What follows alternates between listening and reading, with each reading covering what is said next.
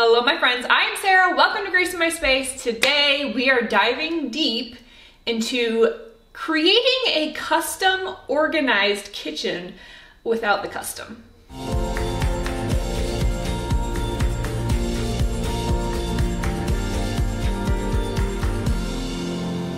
Thank you so much to everybody who showed me love and congratulations and were so kind on our kitchen reveal video, which I will pop up for you here if you missed it. Eight months in the making, eight months to a completed kitchen renovation that was much larger than just the kitchen, but it's what I'm counting as the kitchen renovation.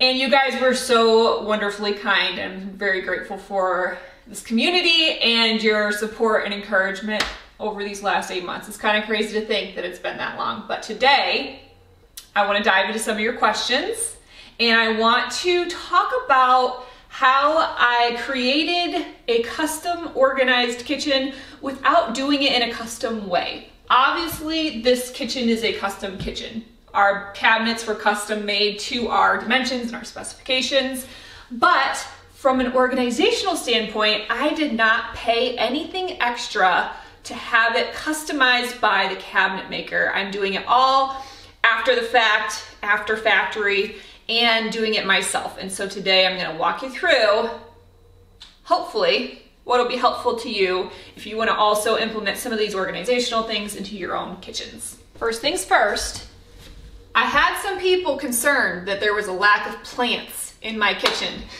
If you remember my last house, I had plants everywhere. Look. Are you happy now? In all seriousness, Plants were always in the plan, but when we moved and during eight months of construction, a lot of my indoor plants did not weather very well. One of my favorite plants got stuck into the dark bathroom when our basement flooded and I forgot about it for five months and I it's it's cut back to nothing. She's just a little stub now. So I gotta rebuild my plants. Let's start in the pantry. This is our pantry. It holds all of our food except for a couple of overflow items, some canned goods, things like that that I have another cabinet for. But for the most part, everyday goods are in here. But first, we need to address something. The fridge. I've had many people comment about why we did not do a panel ready fridge, which is basically just a fridge that looks integrated into your cabinetry, and instead we did a regular old fridge. Some people even said that it was a pity. It was a pity that I have this fridge. Come on guys, if this kitchen is a world in which I should be pitied, then I do not want to live in that world. The reason that we did not do a panel ready fridge is simply because typically they are much more expensive, they are much less storage because they're more counter depth. And if you ever need to replace it, which let's be honest, appliances these days just do not last. They do not last.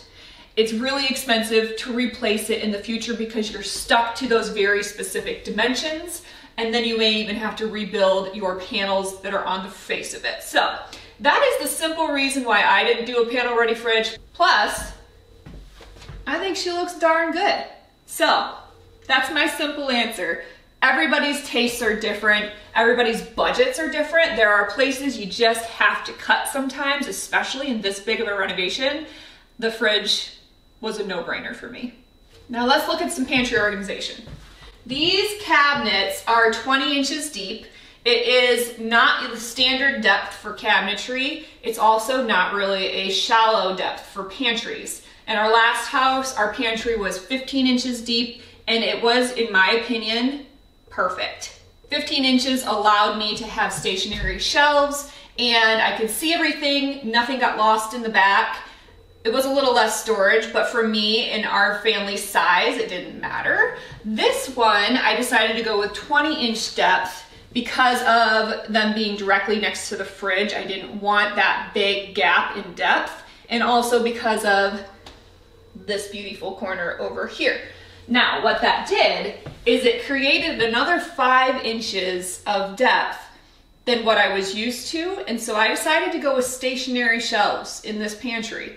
20 inches is fairly deep for stationary shelves. And I didn't really realize this was one of the small regrets. It's really not a big deal, but small regrets. I didn't realize how much five inches can make you lose food in the back of a cabinet. So if I were to do it again, maybe I would customize it to have rollout shelves in this lower portion. Obviously not up here because rollout shelves up above your head make zero sense whatsoever. But here's what I'm doing to create the customization of rollout shelves without paying for it.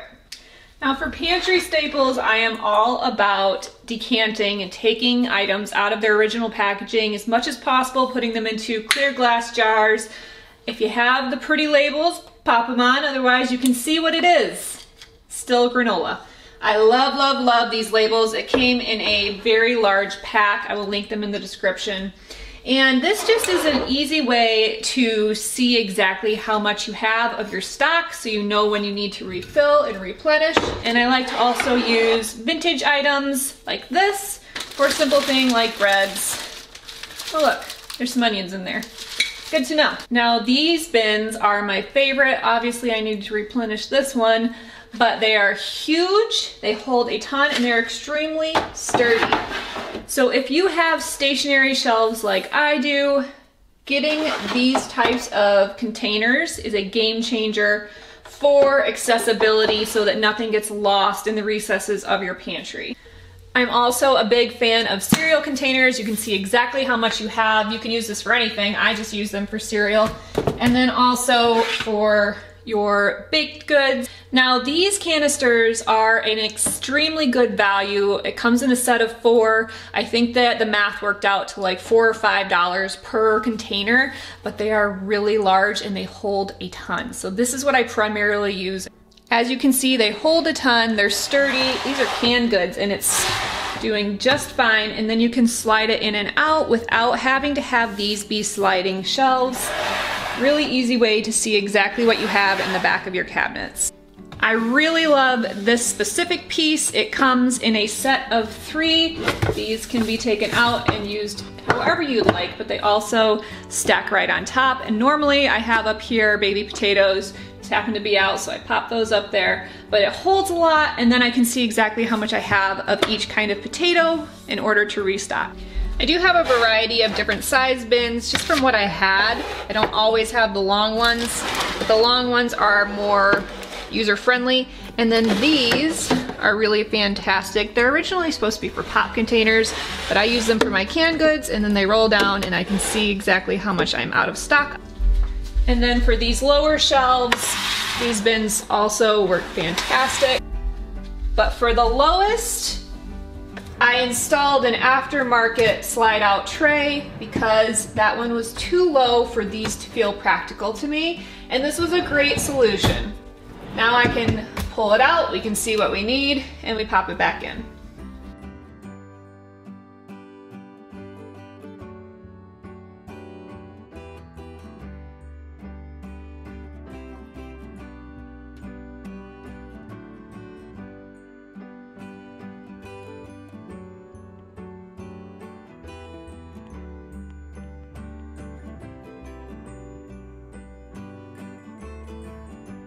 Now let's talk about this side of the kitchen. I do have one cabinet that I did customize with the cabinet maker that I'm so glad that I did. It's my favorite cabinet. It's fantastic. Let me show you. This is our cabinet for spices and oils and it has three levels. The first is spices, which you can you can buy these racks. Don't let anybody tell you you can't. I'm gonna link them in the description for you. But there also, it has a second pull out that's just a drawer. And then the bottom, it has room for all of your oils and larger items. So I mean, I have one, two, three, four, five, six, seven bottles of oil, large honey, lots of salt, all my salts. Apparently I like salt.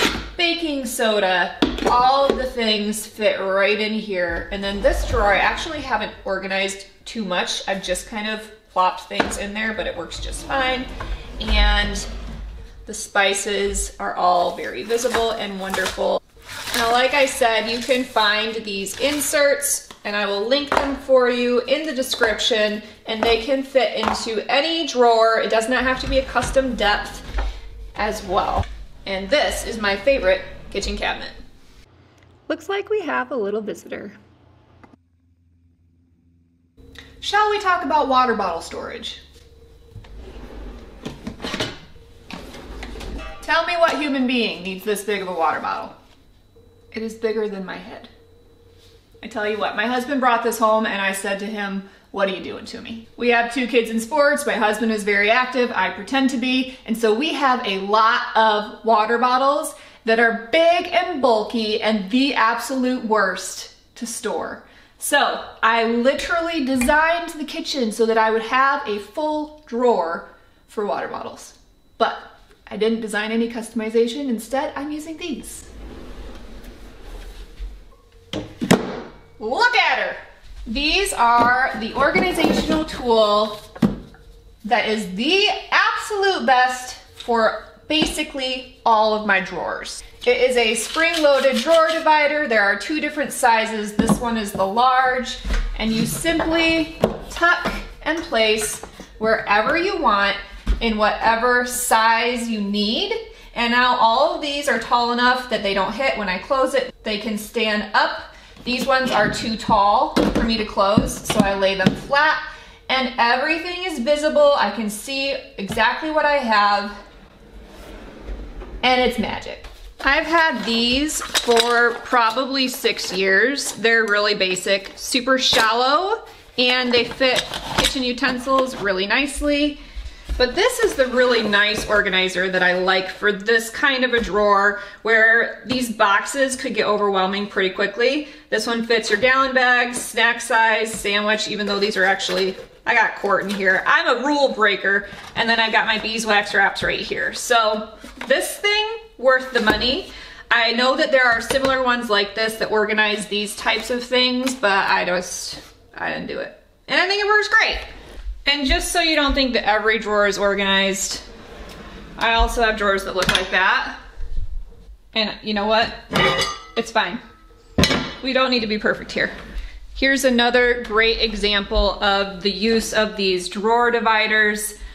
Again, perfectly fit to whatever size you need, really easy to install and they stay put so you can adjust them to whatever size. I used these instead of, I'm sure you've seen the drawer dowels. I found in my last house I actually had the drawer dowels, but they took up more space than they were worth. And so these drawer organizers are a much better solution in my opinion. Now, don't ask me why we have an obscene amount of crazy straws. I think it was a stocking stuffer one year. They're okay. They're just sitting here chilling. This specific utensil organizer I really like. These sides are adjustable, so if I took this out, I could actually extend it this way. And um, it has a spot for all of your sharp knives so that the blades are pointing down and lots of space for all of your crazy things that you may have in your home. Now everybody has a junk drawer, right? It's not just me, I actually have two. I have two junk drawers and they are functional junk drawers because I have these little teeny bins. There's this size, there's this size, there's two bigger sizes than this, but they're all in my drawer. So let me show you how I use them. Now I know from far away, these just look like your standard junk drawer where everything is just piled in, but they're actually not. They are organized. Gift cards, sticky notes, um, all of my fabric stuff, I'm not a sewer, so this literally contains all of my fabric stuff. And so on. So as you can see, everything has a spot, everything has a place, and it does actually stay much more organized than if it were all just thrown in here. Now I had quite a few requests to see how this coffee hutch, appliance hutch, appliance garage, whatever you want to call it, you works, how it works. It's really simple. You just lift it up. It's on hinges that elevate it and hold it in place. And then all of our stuff is right inside. Now, this little doohickey, that's my favorite organizational portion of the coffee hutch because otherwise I'm pulling this out and it's going and then I spill coffee everywhere. So it's a nice little slider which would work great if you have it underneath of an upper cabinet as well. And then everything else is really basic, a really small microwave and a four slice toaster and that's all we got. That's all we got in there. And then you just do this and it's closed. We have cups, mugs, glasses, and the Rogue water bottle. Somebody didn't know where this goes. Now in here, one thing that I am doing is installing a mat so that any water that drips off of cups or mugs after being put away from the dishwasher doesn't impact the wood negatively, and that is a really easy and great solution.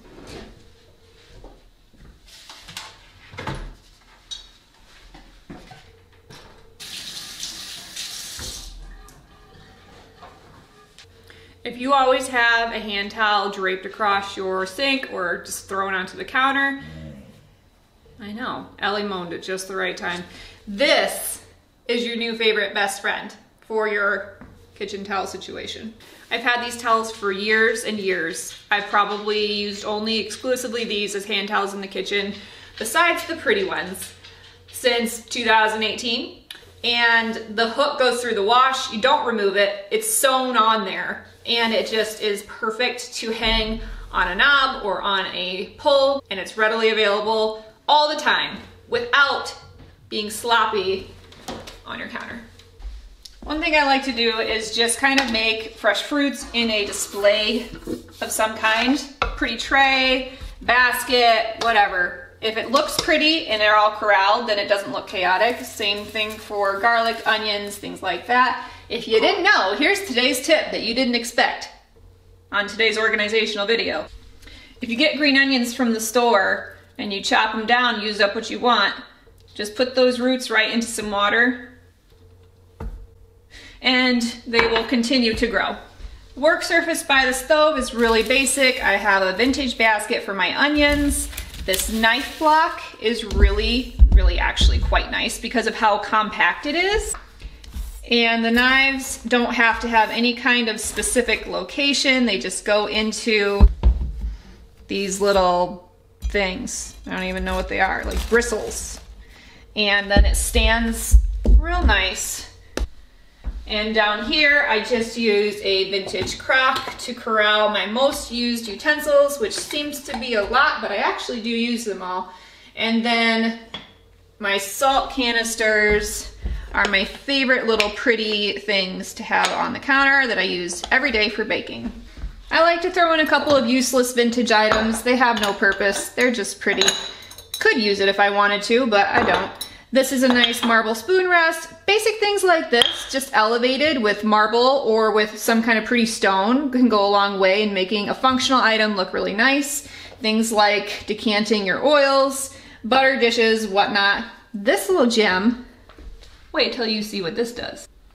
If you are like me and you do your recipes from a phone, but that's always sitting on the counter like this, here is your new best friend. And it's pretty to stay on the counter even when you're not using it.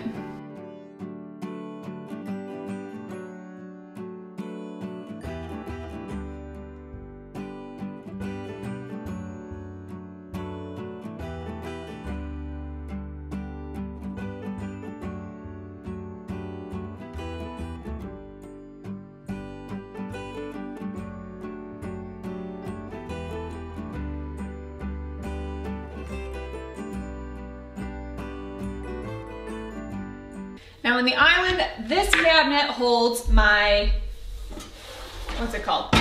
My mixer. It's not KitchenAid because I am cheaper than that. But I thought long and hard about the customization that I've seen in multiple kitchens where the KitchenAid just like, and then it's floating in the air for you to use. And I just decided not to do it to save some money and now I get a workout every time I pull it out and it's just fine. It works, works just fine. Now, one thing, ooh, she's dirty. One thing, hiding it, that I really am happy with, it wasn't necessarily intentional, in the designing stage, but it was intentional in the moving in stage, is where I place the dishwasher in relationship to where all of our dishes get put away. So the dishwasher is here, and this drawer is where all of our plates, bowls, things of that nature go. This drawer is where all the silverware goes, and these are where all of the glasses go, pots and pans, right here. So basically almost, besides some baking things, almost everything that would come out of a dishwasher is right here to right here, or right there. And that makes unloading the dishwasher so much easier. It's not really an organizational tip, but if you're doing a remodel, consider those kinds of things when you're in the moving in process or even when you're designing your cabinetry. If you are designing very specific types of cabinetry for very specific things, think about where they are in relationship to your sink and your dishwasher. Now under the sink, I just have one simple pull out. You can't even see it. Let me, let me change that. This holds all the kind of like random things that I don't use very frequently. And it also has a spot for smaller items up top, little scrub brush, get into those crevices. And then the rest of it is just, it's just in there and it works great. Down here we have a two bin trash can. Should have taken that out first.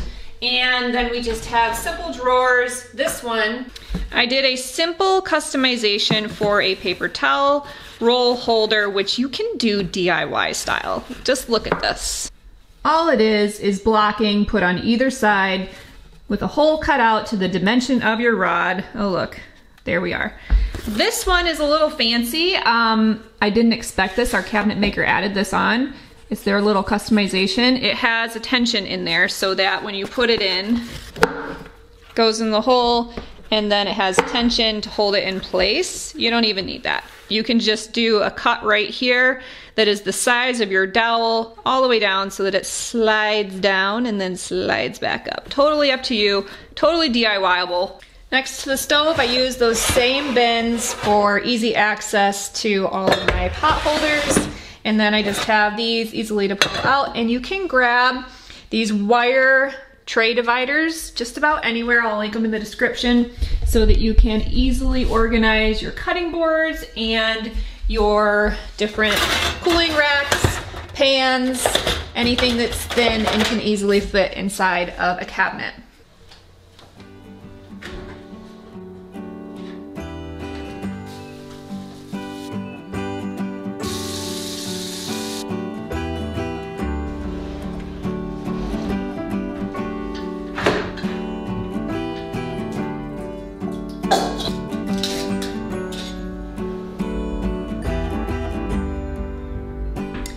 Here's an unexpected organization slash cleaning tip for you. If you are anything like my family, there are about five cups per day that each family member decides to use brand new from the cupboard. That is excessive. So I found this tip from Cami at Tidbits blog. Get yourself a simple silicone wristband. They're literally the ones you would normally wear on your wrist that brands put their marketing onto. I'll link them in the description. And you pop it on your cup. I'm white today. Addie can be purple. Aaron can be blue. I just leave them on the cups. They go through the dishwasher. They're silicone, they're allowed to. And there is no problem. Also great for when you have guests over and you don't want to have to Sharpie on some red solo cups. Glass cups colored band, everybody knows whose cup is theirs. And those are the basics of my non-custom organized custom kitchen. There are so many aftermarket items that you can find to create a customized kitchen if you have a standard kitchen, if your kitchen doesn't have any customizations, or if you want to add something specific that you may have overlooked when you designed your kitchen the first time. One kind of overarching design rule that I have found to be true in my own home, I'm sure you found this to be true, is that if you have assigned something a purpose, for instance, our water bottle drawer, and you have put parameters in place for how things are to be placed in it, it'll stay organized. Do I sometimes have to go through because the kids toss them in? Sure. That's just part of life. But for the most part, if you have designated a purpose and you've put parameters in place, it'll stay organized. And you'll have to maybe train your family a little bit, let's be honest. But that's okay. That's teaching them how to create an organized home for when they grow up and they have their own as well. Thanks so much for watching. I hope this was helpful. All the links to all the organizational aftermarket items that I installed in my kitchen are in the description for your shopping convenience. Now, these are just things that have worked for me, for the way our family lived. There are millions, that might be an exaggeration, of different ways to organize a kitchen, to organize a home, but hopefully these ideas spark something that might be helpful for you. Thanks so much for watching. Let me know in the comments what other design elements of the kitchen you might want to learn about and I will try to address that in an upcoming video. I want to take some time and flush out that side of it because I haven't talked much about the design of the kitchen and why I made specific choices. For instance, like my pitiful fridge. I'll see you guys next time.